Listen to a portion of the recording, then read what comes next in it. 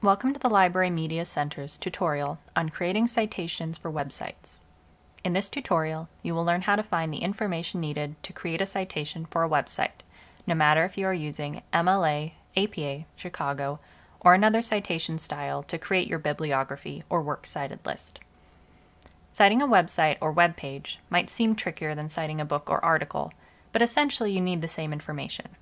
The author or organization that created the web page, the title of the website, the title of the web page, the date of publication, and the URL.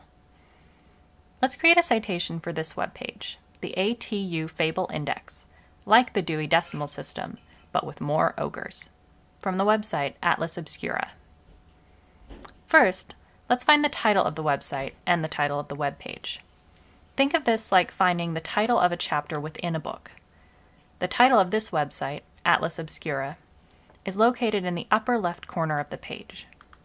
You can also scroll all the way down to the bottom of a web page to find the title of the website as well as the copyright date.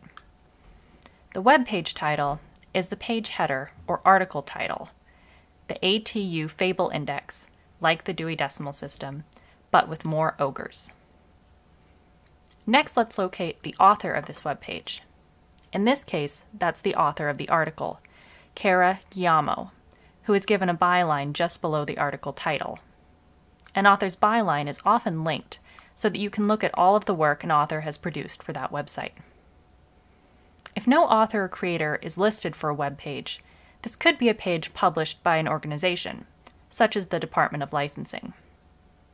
In that case, you would include the organization in place of an author for that website. If you cannot locate an author or creator for a website, you can still create a citation. Refer to the citation style you're using for an example of how to do this correctly. The date of publication for this example is listed next to the author byline, just below the page title.